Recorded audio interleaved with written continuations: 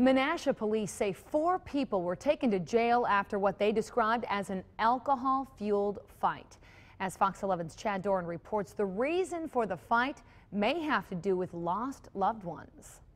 Investigators say a night of drinking at the City Limits Tavern led 49-year-old Roxanne Jansen and 29-year-old Jenny Farrell to exchange more than words outside the bar early Monday morning. Maybe family issues um, that had happened, some deaths in the family, so maybe tensions were a little bit high there.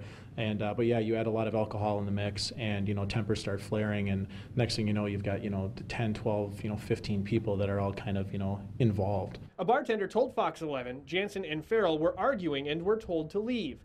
The women then started fighting outside. Police say Jansen's friend Danielle Ewig and Farrell's boyfriend, Solomon Zaniga, were also involved in the fight. As far as we know, the deaths had nothing related to one another. I believe one of them had lost a child in another state, and uh, the other one had a recent death in the family. All four people were arrested and cited with disorderly conduct. In Menasha, Chad Doran, Fox 11 News. The citations for disorderly conduct carry a $429 fine.